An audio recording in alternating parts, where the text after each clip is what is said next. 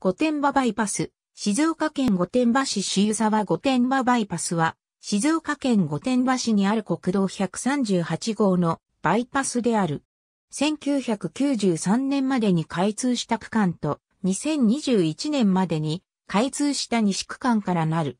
全車に対応する旧国道138号の区間は、静岡県道401号、神奈川県道736号、御殿場箱根線である。御殿場市東山の東山湖の脇にある東山トンネルは隣接地にある秩父の宮家別邸の住環境を守るためのものである。校舎は東富士五湖道路、新東名高速道路を東名高速道路と接続させる道路として須走道路を介した西区間が事業化されている。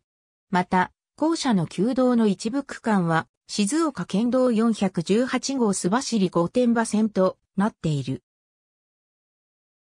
観光シーズンになると、須走インターチェンジ御殿場市街の国道138号は、地域交通と観光交通が混在するため、渋滞が慢性化していた。このため、東富士五湖道路と東名高速道路を接続する都市計画道路が事業化された。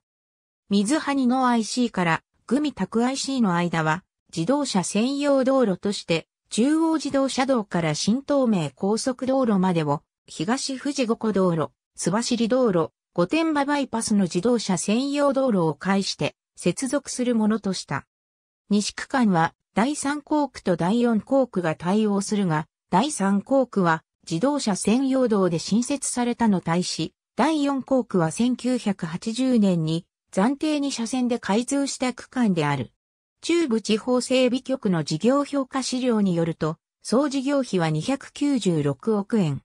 また、同資料によると、2016年度現在の用地、進捗率は約93%、事業進捗率は約28%である。2021年4月10日に開通した。